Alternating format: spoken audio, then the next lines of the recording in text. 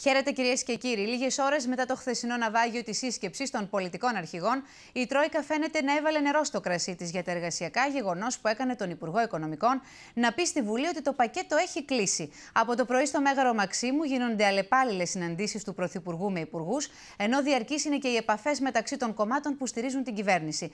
Να πάμε αρχικά στον Νίκο Αρμένη, που βρίσκεται στο Μέγαρο Μαξίμου, στη συνέχεια στην Ειρήνη Σαββοπούλου, η οποία έχει το ρεπορτάζ από το Πασόκ και τη Δημάρ.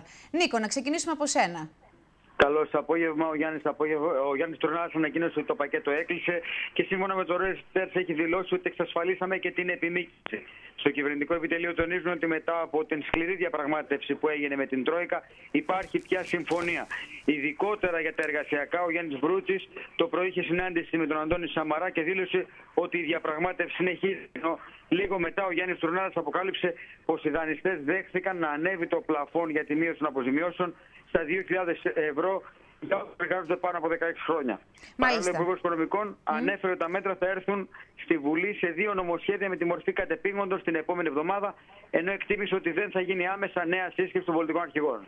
Ειρήνη Σαββοπούλου, ποιο είναι το κλίμα σε Πασόκ και Δημάρ, ποια στάση θα κρατήσουν; Ε, στάση αναμονή σε νοσού Κατερίνα τηρεί το Πασόκ μέχρι αυτή την ώρα, περιμένοντας πρώτον επίσημη ενημέρωση για το αν και πώς έκλεισε το πακέτο. Δεύτερον, αν και πώς κατέληξε η πολιτική διαπραγμάτευση, την οποία ζήτησε από τον Αντώνη Σαμαρά χθες ο Βαγγέλης Δενιζέλος. Και τρίτον, θα κρίνει εν πολύ στη στάση του από εκείνη του Φώτη Κουβέλη, ειδικά σε ό,τι αφορά τα εργασιακά. Θέλω να σου πω ότι είναι σε συνεχείς σκέψεις τόσο στο επιτελείο του Νιπποκράτου αλλά και στη Δημοκρατική Αριστερά. Τόσο ο Φώτης Κουβέλης όσο και στελέχη της Δημοκρατικής Αριστεράς έχουν ξεκαθαρίσει ότι δεν θα ψηφίσουν τα εργασιακά αν έρθουν σε ένα ενιαίο πακέτο. Γι' αυτό και υπάρχει από πλευράς κυβέρνησης η σκέψη να έρθουν σε ξεχωριστά άρθρα ώστε να διευκολυνθεί κατά κάποιο τρόπο και η πλευρά του Φώτη Κουβέλη της Δημοκρατικής Αριστεράς.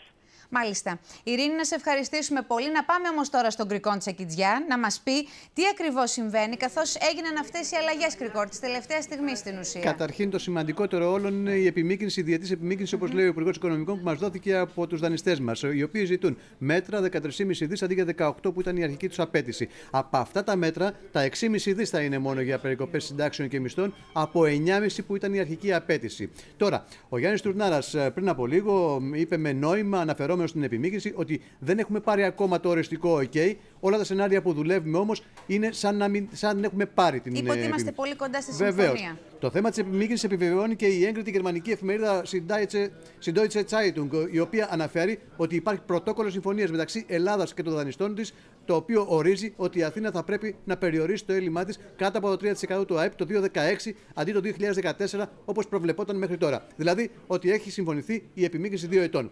Τα μέτρα έχουν κλείσει οριστικά, είπε ο Υπουργός Οικονομικών σε δημοσιογράφους στη Βουλή και πρόσθεσε ότι αν δεν παρουσιάσουμε αύριο το πακέτο, χάνουμε τις προθεσμίες. Όλα πρέπει να κλείσουν απόψε. Κύκλοι του Υπουργείου Εργασίας έλεγαν ότι κερδίσαμε τις τριετίες, χάσαμε όμως το επίδομα γάμου για τις αποζημιώσεις, υπήρξε νέα συμφωνία την οποία αποδέχεται και η Τρόικα, σύμφωνα με την οποία οι παλαιοί εργαζόμενοι με πάνω από 16 χρόνια προπηρεσία στον ίδιο εργοδότη θα δικαιούνται εκτός από του 12 μισθούς ακέραιου για κάθε χρόνο πάνω από τα 16 αποζημίωση με πλαφόν τα 2.000 ευρώ ανά έτος. Αλλά από τη μέρα ψήφισης του νομοσχεδίου, αυτό έχει σημασία, παγώνει σε εκείνο το σημείο η αποζημίωση όσα χρόνια και αν περάσουν για να απολυθεί κανείς. Δηλαδή, εργαζόμενος σήμερα με 20 χρόνια προπηρεσία και μισθό 3.000 ευρώ το μήνα δικαιούται 12 μηνιάτικα με 3.000 ευρώ και άλλα 4 με 2.000 ευρώ, σύνολο 40.000 ευρώ αποζημίωση. Από τη μέρα που θα ψηφιστεί, παγώνει η αποζημίωσή του και αν απολυθεί ακόμη και μετά από 10 χρόνια και φυσικά να αμοιβέται με τον ίδιο μισθό, η αποζημίωση θα παραμείνει στα 40.000 ευρώ, Κατερίνα. Μάλιστα, να δούμε κρικόρ σε αυτό το σημείο τι δήλωσε το πρωί ο κύριος Βρούτσης. Όπως γνωρίζετε, ήδη από χθες έχουν γίνει αρκετά βελτιωτικά βήματα σε σχέση με το αρχικό κείμενο της Τρόικας στα εργασιακά ζητήματα που μας απασχολούν. Αυτή η προσπάθεια συνεχίζεται ακόμα και σήμερα και θα κάνουμε ό,τι είναι δυνατόν για να κάνουμε ακόμα θετικότερα βήματα. Στο σημείο αυτό, κυρίες και κύριοι, θα καλησπερίσουμε τον εκπρόσωπο τύπου της Δημάρα Ανδρέα Παπαδόπουλου να δούμε ποια θα είναι η στάση που θα κρατήσει η Δημοκρατική Αριστερά. Κύριε Παπαδόπουλε, καλησπέρα σας. Καλησπέρα και σε εσάς. Μετά τη χθεσινή σας άρνηση, λοιπόν, η Τρόικα έκανε πίσω. Έτσι δείχνουν τα πράγματα. Το νέο πακέτο μέτρων που έκλεισε θα το ψηφίσετε τελικά; Α περιμένουμε να δούμε, κύριε Παπακοστοπούλου, τι περιλαμβάνει το τελικό κείμενο. Υπάρχει μια ανταλλαγή έτσι, συνομιλιών μεταξύ της ηγεσίας του Υπουργείου Εργασίας και, των, ε, και των δικών μας των εκπροσώπων, τον κύριο Χατσοκράτη και τον κύριο Παπαθανασίου. Εμείς αναμένουμε να δούμε τις τελικές λεπτομέρειες, να μελετήσουμε το κείμενο. Ισχύει η αρχική μας θέση ότι εμείς δεν είμαστε διατεθειμένοι να κάνουμε πίσω στα εργασιακά. Περιμένουμε όμως να δούμε το τελικό κείμενο, την τελική πρόταση της Τρόικα. Πάντως η αλήθεια είναι, και αυτό πρέπει να το επισημάνουμε, Ναι. ότι για πρώτη φορά αυτή η κυβέρνηση με την, και με την δική μας την πίεση γίνεται διαπραγμάτευση. Είναι πολύ θετικό ότι γίνονται αλλαγές. Μακάρι να πετύχουμε να πάνε όλα πίσω, να μην περάσουν τα εργασιακά ή τέλος πάντων ό,τι καλύτερο μπορούμε να διεκδικήσουμε σε σχέση με τα συγκεκριμένα που προτείνει η Τρόικα. Θα έχουμε και μία νέα σύσκεψη των πολιτικών αρχηγών; Κοιτάξτε να δείτε. Θεωρώ πιθανό μόλις ολοκληρωθούν οι συζητήσεις, μόλις ολοκληρωθούν οι διαπραγματεύσεις και θα υπάρχει το τελικό σχέδιο που θα παρουσιαστεί στους αρχηγούς, ε, γύρει σύσκεψη. Δεν γνωρίζω το πότε, αλλά φαντάζομαι αυτό είναι το λογικό. Άρα το πακέτο για σας τελικά έκλεισε ή όχι; Όχι, δεν έχει κλείσει Όχι. τίποτα. Ε, Θα το κλει- για δείτε μας δηλαδή, να το έκλεισε μελετήσετε πακέτο. καλύτερα. Για μας έκλεισε το, το πακέτο, θα κλείσει στη σύσκεψη των πολιτικών αρχηγών, από τη δική μας πλευρά εννοώ, όταν ο κύριος Κουβέλης θα πει το ναι. Τότε θα έχει κλείσει το πακέτο. Προς ώρας Μάλιστα. παραμένουν όλα όσα έχουμε πει. Σας λέω όμως ότι είμαστε σε ένα στάδιο που μελετάμε αυτά που, έχει, που προτείνει η Τρόικα μετά και την ε, διαπραγμάτευση που, πρωτα- που πραγματοποιεί ο αρμόδιος υπουργός, ο κύριος Βρούτσης. Κύριε Παπαδόπουλο, να σας ευχαριστήσουμε πολύ.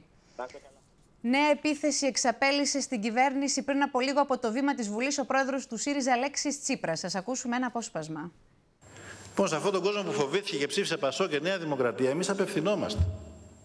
Και το κοιτάμε στα μάτια. Και ξέρουμε ότι και πολλοί από τους βουλευτές σας θα θέλουν να το κοιτάνε στα μάτια. Όσο και αν επισύεται την απειλή της διαγραφής. Είναι προτιμότερο κάποιος να μπορεί να κοιτάει στα μάτια τον κόσμο που τον στέλνει στη Βουλή παρά να μπορεί να κοιτάει στα μάτια υποταγμένες ηγεσίες, πολιτικές ηγεσίες. Γι' αυτό θα απευθυνθούμε σε καθένα και σε καθεμιά από τους βουλευτές ξεχωριστά. Και θα τους ζητήσουμε να πάρουν την ευθύνη της συνείδησής τους.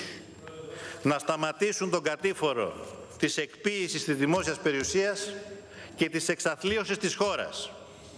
Και είμαστε βέβαιοι ότι αυτή η κακόγουστη παράσταση θα λάβει τέλος.